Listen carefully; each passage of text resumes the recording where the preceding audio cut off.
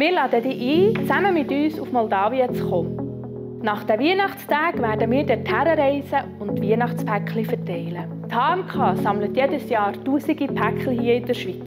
Die werden von unseren langjährigen Partnern vor Ort an Erwachsene und Kinder verteilt. Diesen Winter hast du die Chance, zusammen mit Christen vor Ort, zum Beispiel in Waisenheimen, Schulen oder Dörfern, Menschen in Not zu beschenken.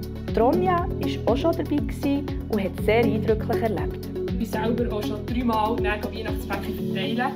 Und was eben das Coole ist, es sind Päckchen, wo sie Freude daran haben, dass sie zu Weihnachten ein Päckchen bekommen, ähm, wo Essen drin ist, äh, Zahnbürste, ich weiss auch nicht was, alles Zeug zum Malen für die Kinder, wo sie sehr Freude daran haben, was Leute sind, die nicht viel haben. Das sind so bewegende Geschichten, die man dann sieht und darum überlegt euch doch, ob es nicht etwas für euch wäre. Das fängt mega Melde dich unbedingt an.